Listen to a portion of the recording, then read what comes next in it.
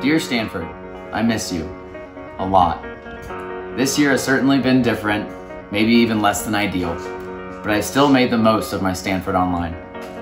This quarter, I've got to make new friends, make more memories with old friends, and pick up new hobbies.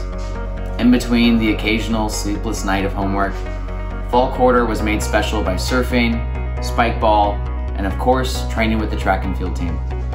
This holiday break, I'm excited to see my family for the extra long break, spend more time with them, and I hope our break from being on campus is over before too long. See y'all soon, JT.